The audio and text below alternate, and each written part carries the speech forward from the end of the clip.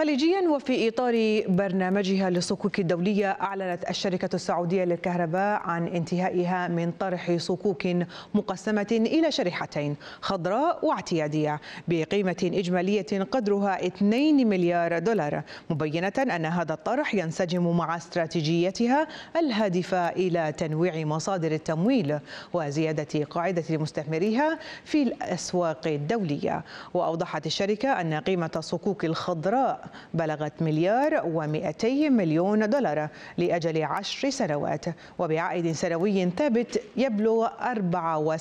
4.6% سنويا بينما بلغت قيمة الصكوك الاعتيادية 800 مليون دولار لأجل 30 عاما وبعائد سنوي ثابت قدره 5.6%